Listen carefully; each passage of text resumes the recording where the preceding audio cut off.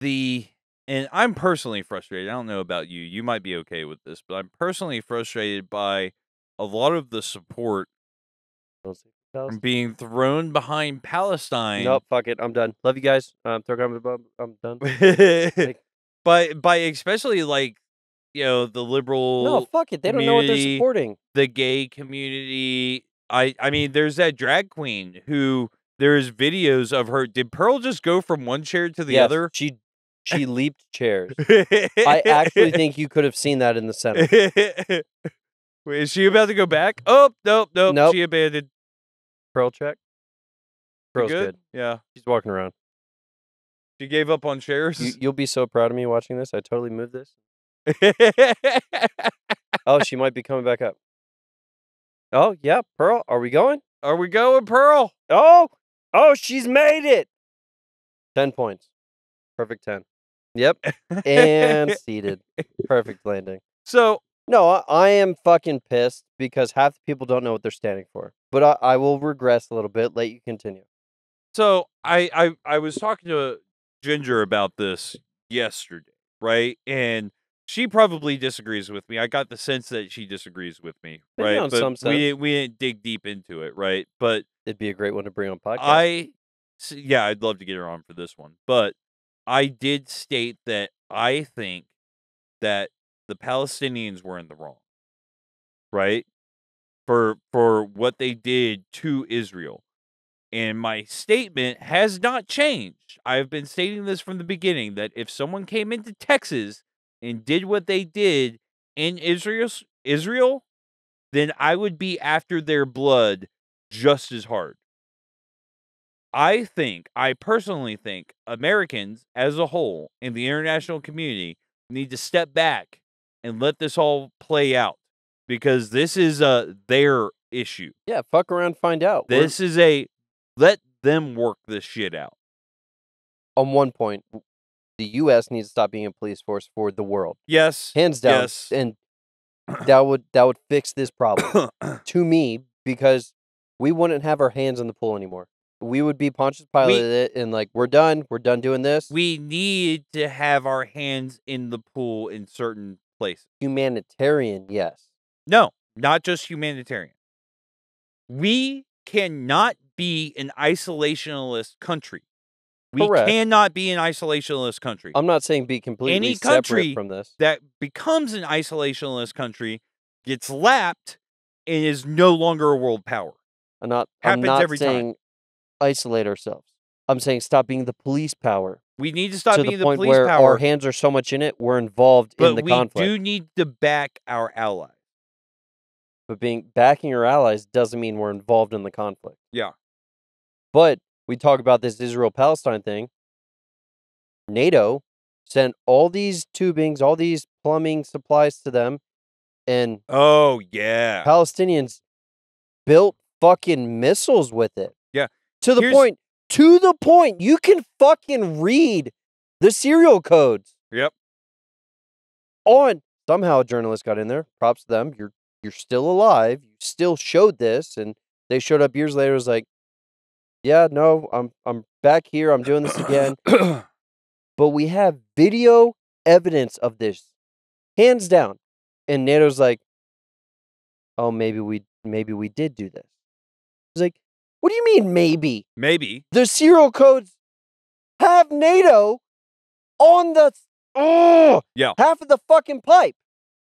I am sorry because they're upset because the the Israelis went in and like have hit hospitals and have hit this and have hit that and it's like these places you cannot hold Geneva conventions up, right? Because If you're operating you out of are it, not supposed to be operating out of these places. You cannot be upset with Israel for going after the locations where they're operating out of. And, I am sorry because all of these first world countries have, especially America, have forgotten what war entails. They have forgotten what war entails. Because guess and what? you know what? People can't get mad for the simple fact that Israel still put out a notice. Leave these places if you're a civilian. Leave these places because if they're operating out of these places, we're going to bomb them because they're operating them. Okay, if they're held hostage, okay, cool. That's a gray area. But at the end of the day, war is war. There will always be casualties of war. There will always be innocent casualties of war. Yep. People forget what war is. It's not this fucking surgical fucking bullshit. None of this is. None of this is. This ties in the same shit that happened in Afghanistan. We were there for how many years? Who was there before us? Who was there before them? Afghanistan has been a constant cesspool of people trying to. I'm no, I'm Go gonna ahead. stop you. I'm gonna stop you. It was not a constant cesspool. You're right. There was a time period, I think from the 47 to 80s, that it was good and they were thriving. And before that, during you know Persian Empire times and other Correct. times, there have been periods of times Where they thrive. where they have thrived. but every time there's been an outside force occupying them, they've gone back to stone ages. Mm-hmm. even us, even America, they went back to Stone Ages. Like they're they're carrying shit around on carts because that's the only thing they have. And then we left, and everyone, what happened? Everyone's got dying, up. and they got caught Now, up. that being said, that was one thousand percent, one thousand percent on our politician, because it wasn't like with Iraq. Because when we did the drawdown in Iraq, we let them know way ahead of time. It was all planned. It was a proper out. transition of power. Yes. When we pulled out of Afghanistan, a paper was signed and people were gone. Yeah. All the support. To the point, people are falling off airplanes leaving. Yeah. To the point to where because the way we had trained their military was to have air support when engaging the enemy. Their air support was gone overnight.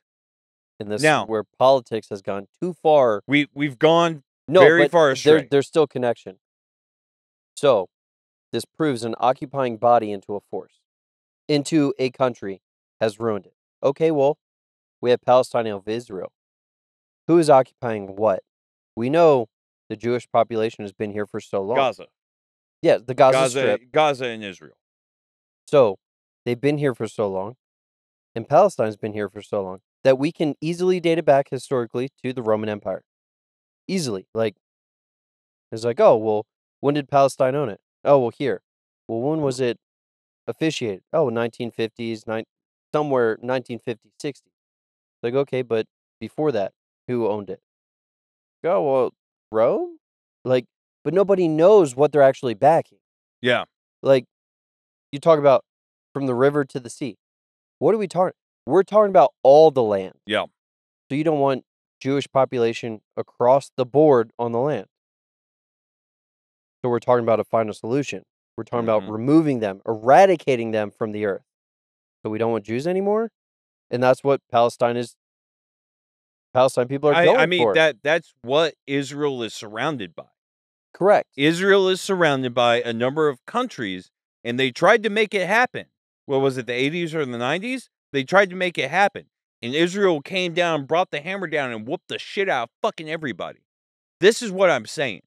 I am saying that these motherfuckers from our fucking country who are so far removed That and have know. never been involved because they don't know what it's like in Iran for these fucking for the normal people. I They don't know it- what it's like. They in don't Turkey know what it's like in people. a third world country, or even in a second world country. No, they're silver spoon through and through, or even they're star athlete and they just have this ideal that's been given to them that was like, oh well, I care about this because everyone else cares about that. But you see everyone talking about it, it's like, why do you care about this? Do you know what this means? You've chanted it. Do you know what this means? Do you, know what this do means? you really know what you're fucking standing on a platform for? Like, And do I, you know I what get, you're chanting? Do you, it? I get so frustrated. I get so frustrated by by the homosexuals and the drag queens You- and the You everyone know else. they want you dead, right? They would kill you. like Why are you building a platform in our country for these you want people? them to the same way we had American ISIS brides. It was like, you know, you're gonna be one of like a couple hundred, right? Yeah, Like yeah. And they those don't care. all these years later, it was coming out how fucking Horrible. much of an them atrocity that was for these people. Is like, don't tell me you support something and know nothing about it. It's like, oh, well, I support the left or I support the right. Okay, well, do, what do they stand for? Do they Mm, support your values? yeah, Do It they like, support your Well, I support Palestine. What do they stand for? Well, I'm a gay individual, and me and my husband, or me and my boyfriend, or girlfriend, or wife, and yeah, motherfucker. They you would know they would kill you in the streets and would- drag your dead carcass everywhere. Yeah, They would parade you around and be like, we have killed this person, this homosexual person. Like women, like I don't understand because women don't have rights in these places.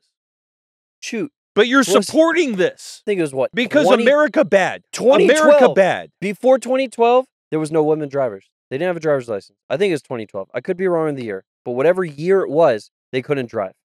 And there's jokes around. It's like, oh, up until this year, we didn't have car wrecks. Like, okay, we're joking about it, but they couldn't fucking drive up until whatever year Saudi Arabia was like, ah, women can drive now. Think, you have to walk behind your husband in most Muslim countries. Yes.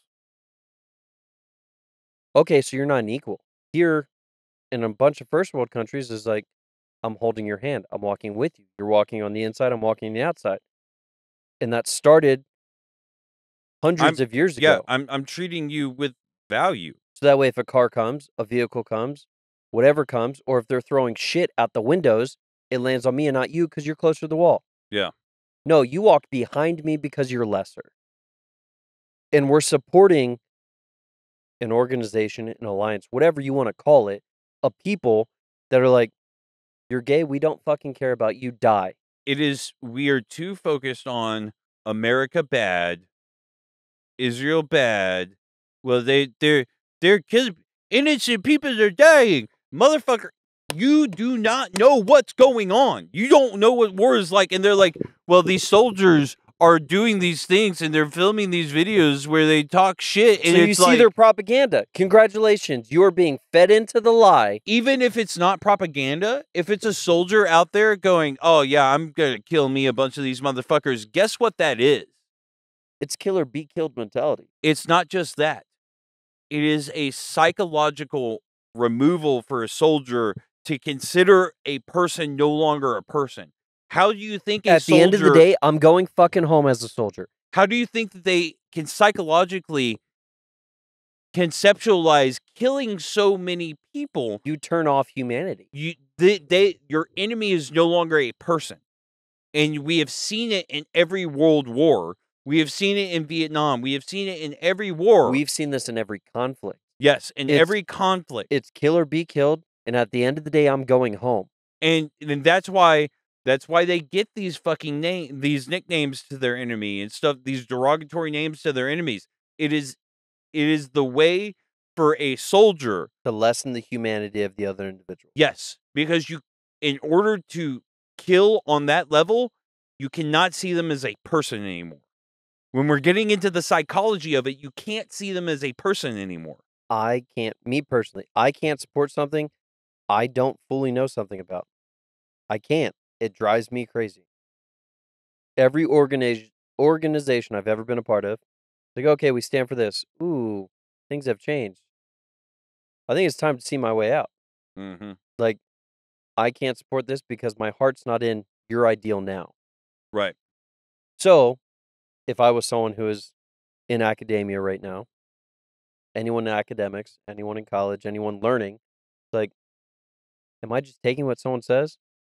Because obviously, I don't know what the river to the sea means. I don't know what that means. Yeah. I don't know what That- these that chants just- were saying. That I just sounds like some fucking religious nonsense. It's just we're just we're just chanting. But- Yeah. But do you know what it means? Okay, well that that means everyone on this land of ground is dead. Not removed, dead. Ooh, that that that puts a heavy weight to it. they What they you're chanting talking about how Israel is trying to commit genocide. Israel isn't trying to commit genocide. Israel is trying to Well, that mm. specific chant and a couple of the other chants are the removal of Jews. Yeah. The Jewish population. grow. removing Jews is genocide. Correct. That is genocide. What's going on in Gaza is not genocide. But here's the other side of this, right? Here's where I get really pissed. Is everyone's real fucking quiet about all the genocide shit that fucking China's done. No one's fucking standing up for that shit. No one's giving a fuck about that shit over the years. China, North Korea, Russia. Every all of these places have fucking wiped out entire peoples and cultures. Why has fucking Ukraine disappeared off everyone's existence? No one's talking about Ukraine now. It's like, what the fuck's happening in Ukraine that everybody's like, we Because care about Israel. Ukraine's about to get rolled up. That's why. Ukraine's about to get rolled up. So, from that statement alone, I know you don't have the same sentiment. It's like, well, we don't care about them because they no longer us protesting does nothing for them. Like we don't care about it anymore. But a lot of college people, I know you care about it, but a lot of college kids are like, a lot of academia across the borders. Well, we protested it. If they can't do their own, then we'll move on to something else. Well, then how much did you really care? Or was this this just the pop culture that you were following along with?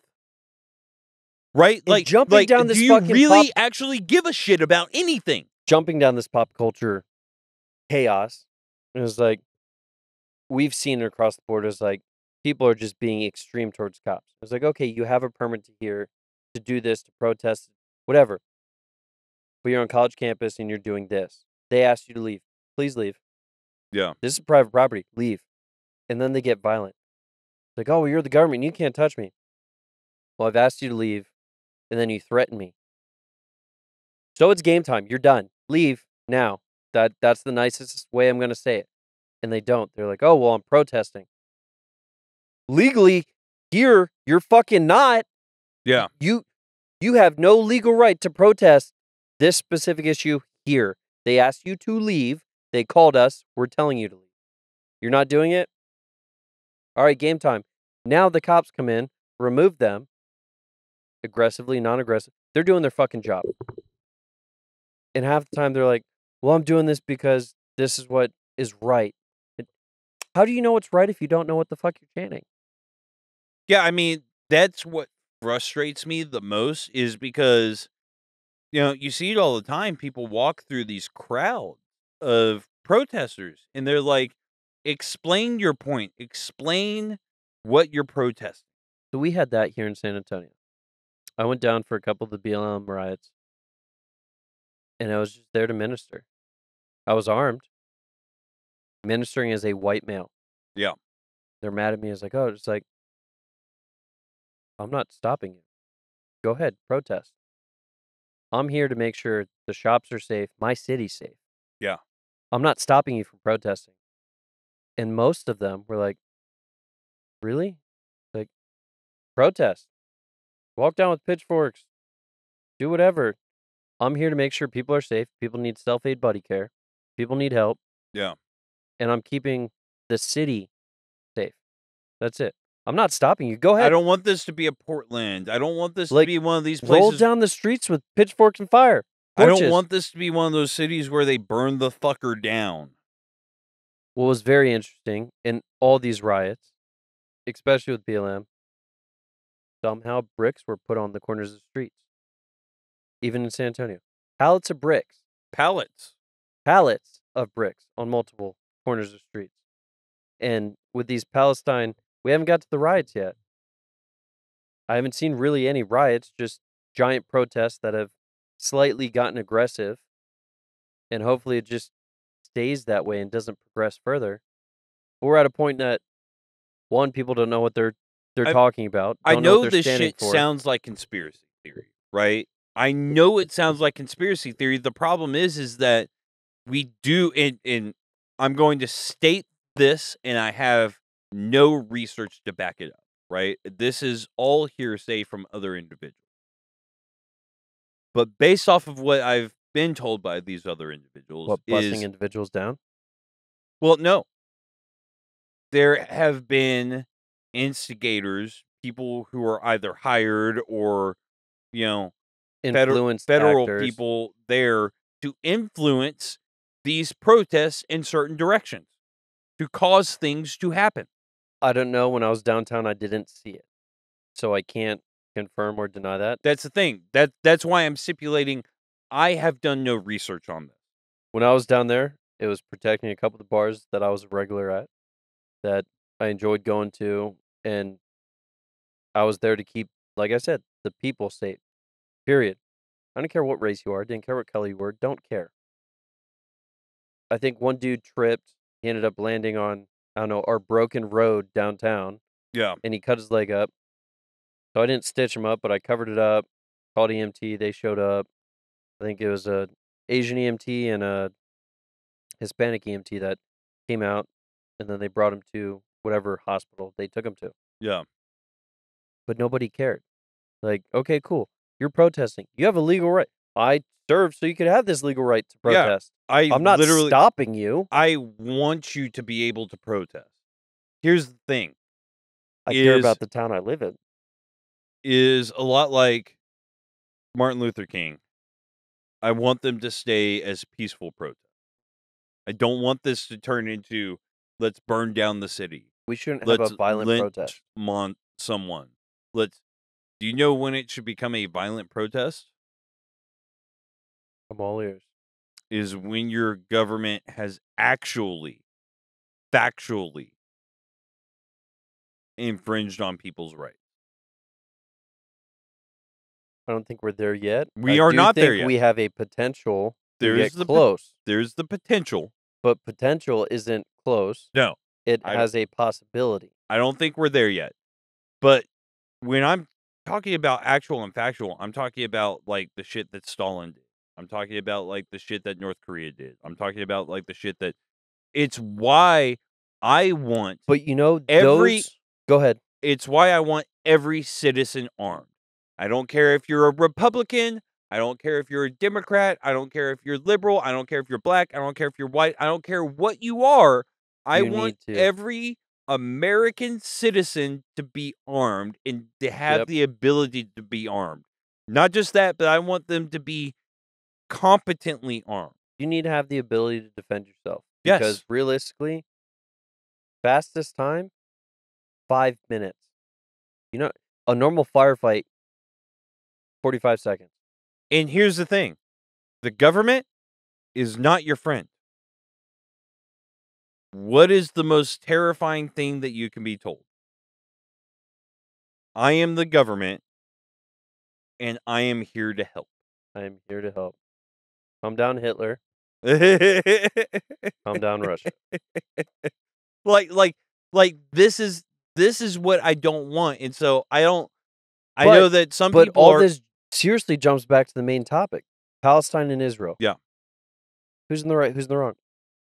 We shouldn't be defining that. we it's and not at our the place. end of the day, why are we driving driving this train so hard?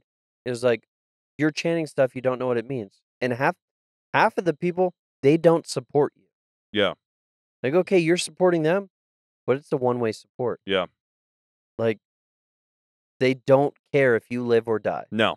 Oh, They'd you're be white. just they definitely fucking hate they'd be okay if you died. oh, you have sexual relations with the same sex? They care less about you now. You're lesser than human by them. like congratulations you're in america where honestly i don't give a shit if you're gay Yeah, you have a right to do whatever, pretty much whatever the fuck you want. yeah i don't i really don't care go go be gay but you're not going to get that in a lot of these middle eastern countries in a lot of, in a lot of, a lot of places other than America. Mo- most places that are not first world countries Even some first world countries, are not cool with it like a large majority, even aren't cool with it. Like, you can be gay, but you can't be married. Like, okay, this doesn't make sense. Yeah. But Palestine, no. You either believe in what we believe in, stop stop supporting people who won't support you really should- at the end of the day what what the fuck is wrong it's with a, you it's a two way street. It very much should be. Support them, they'll support you. If they're not going to do that, why are you supporting them? I didn't support the Like- BLM like, movement, but I you- went down there to make sure people were protected and providing safety for everyone. they won't support you and me because of our opinions right? But I would happily support them Yeah, despite our opinions. Yep, hands down. It's it's annoying to have an uneducated society right now that only believes what they're told. Critical thinking. It's not taught. It's not. It's not. We don't have it in our society now. And, and it's honestly, school's not going to teach it. It's on the parents. It is on the parents. And parents, if you aren't teaching your kids how to think in an educated way, I'm not saying in your way, in an educated way. Your kids will disagree with you and should disagree with you. I need you I need them to disagree with you in a manner that is a critical thought process. while still being respectful. Yeah. Because the only way you can even get your point across, even going back to our founding fathers, they were still respectful in everything they sent back to England. Mm-hmm. They still addressed him as king.